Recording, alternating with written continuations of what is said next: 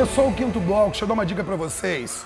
Olha só, toda segunda-feira rola na Vinho e Ponto, tá? Olha aqui, ó, telefone pra vocês curtirem nosso Instagram e depois o Davi vai colocar o nosso telefone de contato. Toda segunda-feira você pode degustar um bom vinho e curtir um violino. Tudo a ver, né? Parabéns, meu amigo Gugu Oliveira e toda a equipe do Vinho e Ponto Campus, que pode proporcionar qualidade, tá bombando em plena segunda-feira. E olha o que vai pintar por aí, olha o que vem na tela pra vocês. Solta! Começa aí no próximo dia 25 o primeiro curso de introdução ao mundo dos vinhos com o super renomado Aldo Macedo, sommelier, consultor do Grupo Fazano, professor de harmonização do Senac Rio, entre tantos outros títulos nacional e internacional. Corre desde agora, ó. Ligue para nossa vinho.campus dos Goitacazes e agende este curso incrível com este papa da gastronomia. Aldo Macedo. Coloca na internet aí, pesquisa esse, esse camarada aí, vocês vão ver o gabarito desse cara, beleza? Mas agora eu trago para vocês Cozinhando com você.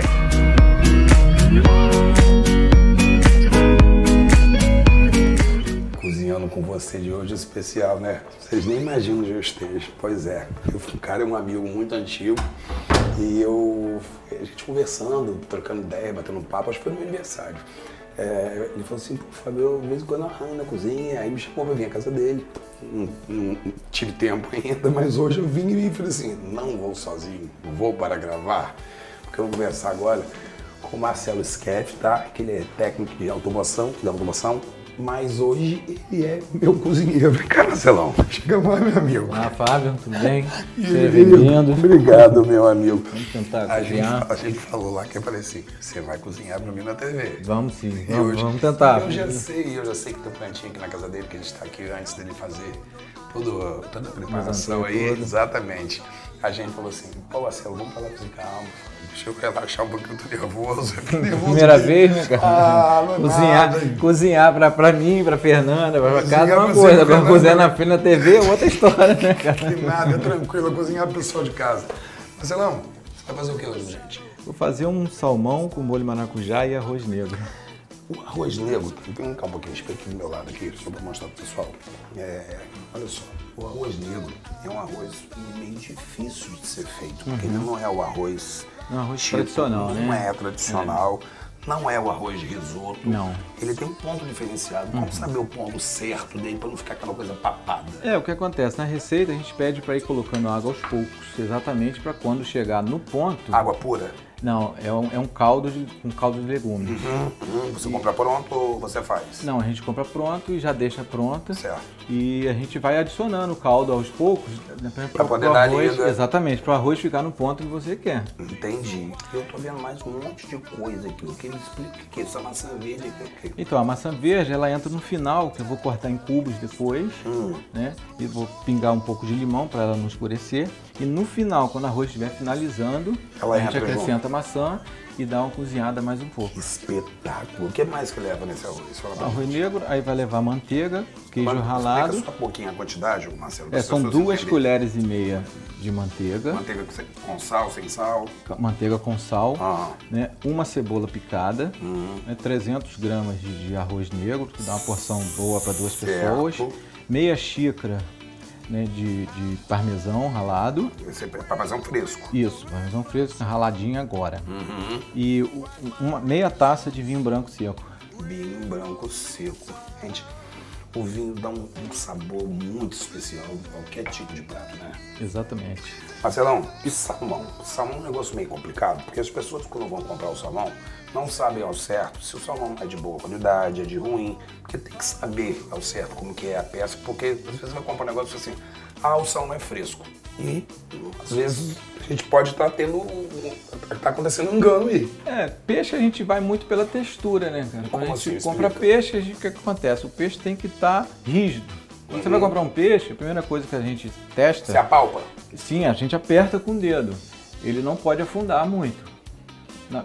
Você olha as guerras quando é peixe. Quando é salmão, que já vem cortado, você não sabe se ele, tava, se ele é fresco ou não. Porque Então, tem o lance da, tem o lance da coloração também, né? não, exatamente. Quanto mais né, o salmão tiver com a cor mais alaranjada, Uhum. mais fresco ele é. E a textura também, você vê que esse salmão, Ó, tá bem, tá, bem, firmezinho. Isso, bem firme. E, Tá. e o cheiro, né? O cheiro, é, a pessoa percebe na hora, né, cara? Uhum, exatamente. Tem Peixe não tem como fugir. Não tem como fugir. E tem todo o esquema pro peixe também. O que, que é? Aqui é o, é o molho maracujá. São seis colheres né, de sopa de maracujá. Você usou a fruta. Isso, a fruta, Uhum. né, que pede polpa, usei a fruta in natura. Duas colheres de manteiga, Uhum. né? Duas colheres de mel. Nossa. Açúcar mascavo, Nossa. né? Eu gosto de usar açúcar mascavo, que dá um saborzinho mais Com especial. certeza. né? Creme de leite, são duas colheres de creme de leite. E uma colher e meia de cebola picada. Você vai selar o primeiro na frigideira com azeite. Com correto? azeite, isso. Então, a gente vai acelerar agora, a gente vai ver o primeiro, a primeira parte é o salmão, não A é? primeira parte é o salmão, depois a gente vai fazer o Agora me molho por explica, você último. tá falando comigo em off, mas me explica pro pessoal de casa, por que, que você não fez o arroz primeiro? Porque se eu fizer arroz primeiro, depois a gente vai comer uma pedra, né, cara? Eu tinha que passar isso pra você, gente. Falou, não, vou começar pelo salmão, depois você não vai quebrar seus dentes, então vamos primeiro fazer o peixe, tá? Quanto tempo de fritura ele leva, Marcelo? O salmão não, depende do como você quer. Se tiver mal passado, né, a gente vai Mas você girando. vai comer com. A gente vai fritar comer primeiro, Risoto, pra a gente comer com. Com risoto, não, desculpe. Com arroz negro, você Uhum. acha que ele é melhor que mal passado, bem passado, firmezinho? Como é que é? Não, eu gosto mais de, de, de ao ponto para um pouquinho, né? Pra bem mal pa- passado. Pra bem passado. Pra bem um passado, pra pouquinho, não é. desfiar tanto. Exatamente. que na hora de... Que na hora de sentir o sabor, você Exatamente. sente de cada um. É. Acelera aí em casa agora que vamos primeiro ver o salmão, tá? Vai lá. You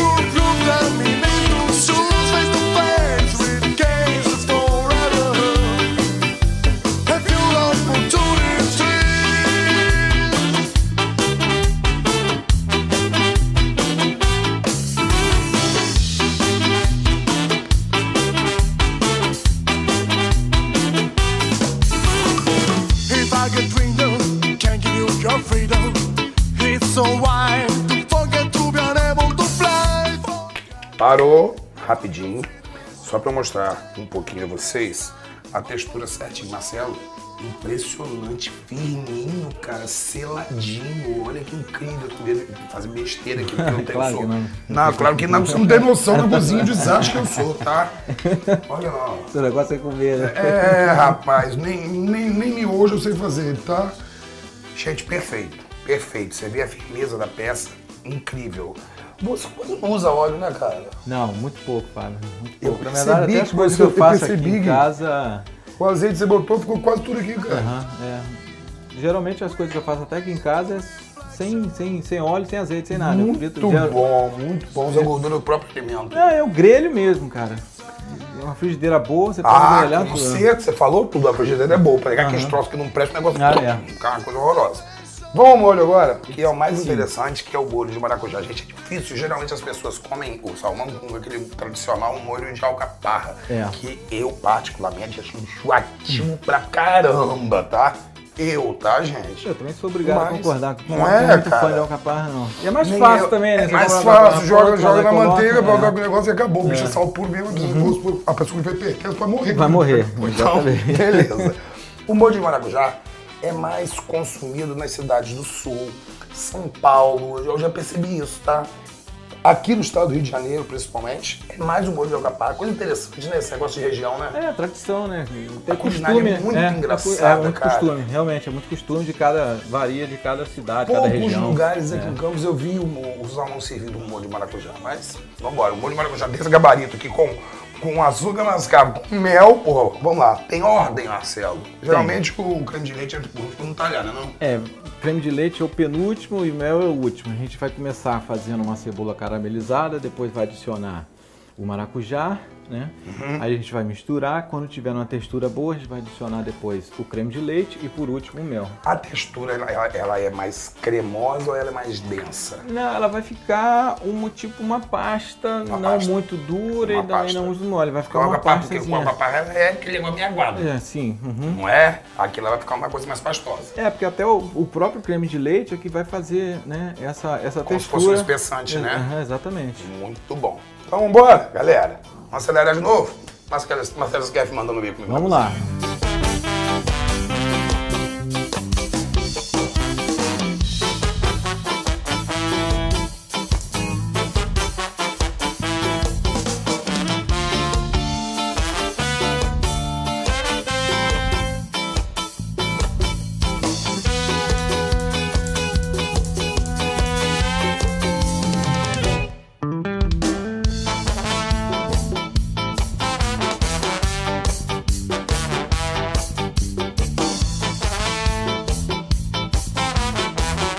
Parou aí a mágica, por favor, da aceleração. Deixa eu mostrar pra você, gente, você é muito safado. Eu pensei que você tivesse feito, botado, ter posto os legumes, botado Fernanda pra descascar tudo. Aqui o truque na minha mão, gente. o a medicina tá avançada, né, Gente, a Wagner? medicina avançada e a preguiça também. Toma medicina tá vergonha. Toma vergonha. Gente que já é pronto, tá? Meu Deus, só colocar na água, tá? Mas, aqui, faz o mesmo efeito no todas as contas. Mesma tá? coisa. Vambora. Eu, eu gosto de fazer essa sacanagem com você mesmo. Aqui, o caldo de legume tá aqui, certo? É, a gente vai adicionando ele aos poucos.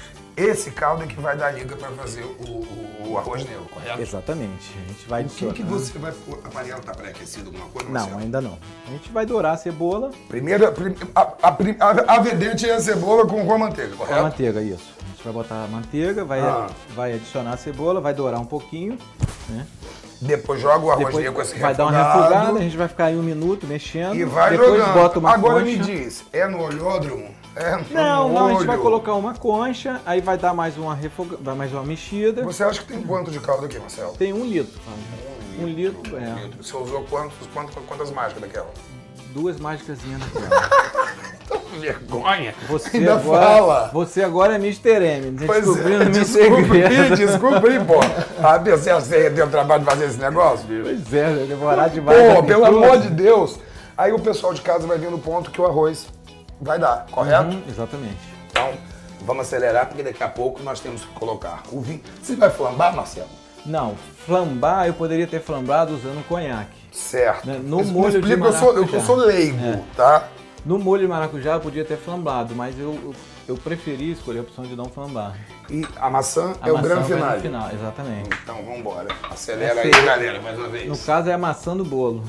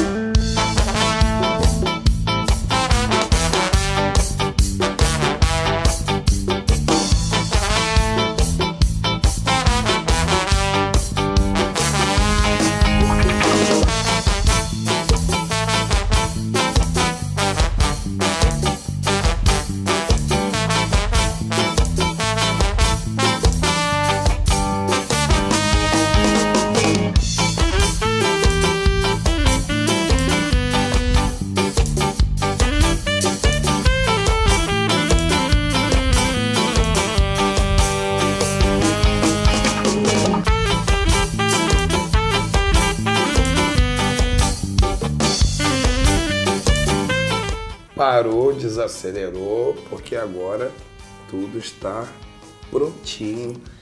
Vocês não têm noção da demora que foi o negócio, mas eu espero que vai valer a pena, tá, Marcelão? Acho que sim, né? Vamos ver. Muito legal, cara. Quero agradecer a sua disponibilidade, tá? Da Fernanda, tá? De todo, todos vocês aqui da sua família por ter recebido toda a nossa equipe com muito carinho, tá? A gente fica muito feliz de estar aqui mostrando para você que, que é curioso É, na, na na- na culinária, mas que, pelo que sua filha falou, rapaz, que você fez exala o corredor do flamboyant inteiro, bicho. Então, isso é maneiro um demais, pouquinho, cara. né? Sabe o que ficou bom aí? Ah. Aquela medicina avançada daquele caldo lá. Rapaz, essa cara de pau não queima, não, bicho. Pelo amor de Deus. Tecnologia. Pelo amor de Deus. A facilidade da situação, né? Aqui, vamos que interessa? Bora. Vambora, Nós. né? Rapaz, você, você, você colocou É. um vinho rosé para Isso, harmonizar. nos acompanhar, Aham, né? Por que você escolheu o rosé? A gente sabe que o- Ah. geralmente o peixe é o, o vinho branco, mas você colocou o rosé por quê? Fábio, isso é uma tradição que tem. A peixe ou né, qualquer peixe é vinho branco. Frutos do mar específico, né? É, vinho branco. Mas salmão também, né? Como outros peixes, também pede vinho rosé. Inclusive, até, tem até alguns tipos de vinhos tintos que pode ser usado até com peixe. É, é, é, doutor Emanuel Oliveira já falou comigo isso. Exatamente. inclusive. Aí você escolhe uma uva, né, mais menos ácida, um, né, um merlot, um Merlot, Merlot, Merlot, Merlot. Aqui, Tá bonito isso aqui, hein? Nossa senhora, a maçã, bicho, tá parecendo um bacon quem olha, cara. demais, demais, ver. demais. Vamos ver se ficou demais. bom, né? Ficou bom, tenho certeza. Ó, eu convidei a sua filha pra fazer um hambúrguer de, de, de, de beterraba comigo. Ah, é. Ela já Tá. fez aqui alguma vez, fiquei meio Pois coisa, depois que experimentei, é, não mas quero aqui, vida filho agora. de peixe, peixinho, é, vai ter que, se, se ficar ruim, eu falo também, tá? Não tem, não tem essa não. Vamos lá, musiquinha gostosa pro céu de casa? Vai, Vamos lá. Marcelo Skeff, mandando ver comigo. Alô.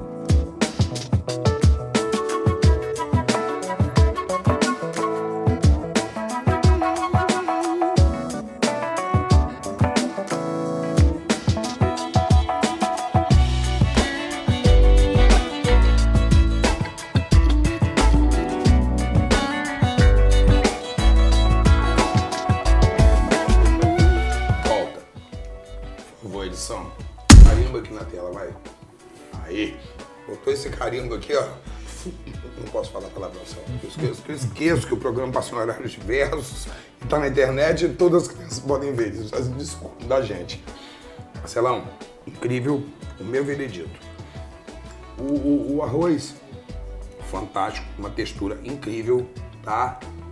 Onde a manteiga tem seu lugar muito especial. A maçã verde, de uma crocância estupenda. E o molho de maracujá com açúcar mascavo mel é algo que os donos de restaurante que estão nos assistindo aqui agora, contrata Marcelo Skeff, gente. Pelo amor de Deus, a consultoria é muito boa que vocês vão ter, gente. Ó, barato, não é? Hum, vou falar boca cheia. Barato, não é chefe formado, nada, curioso, mas a curiosidade dá certo. Muito bom. Amigo, agradeço demais a você, tá?